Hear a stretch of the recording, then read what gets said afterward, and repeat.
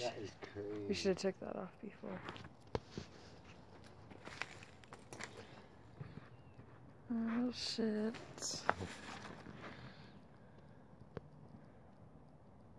Twenty-five caliber pellet gun.